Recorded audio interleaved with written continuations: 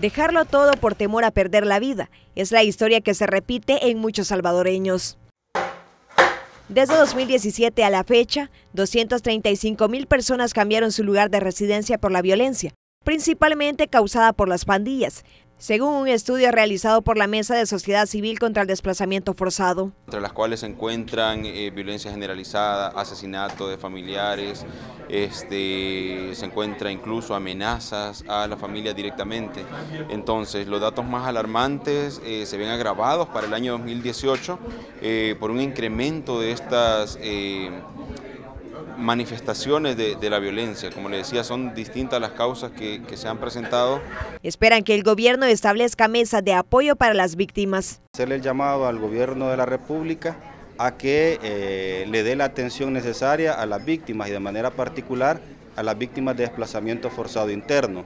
Esto pasa, entre otras cosas, por fortalecer la eh, Dirección de Atención a Víctimas, eh, por dotarle de mayores recursos, de manera particular para las víctimas de desplazamiento forzado. Las organizaciones esperan que los planes de seguridad sean efectivos y ayuden a evitar el desplazamiento forzado.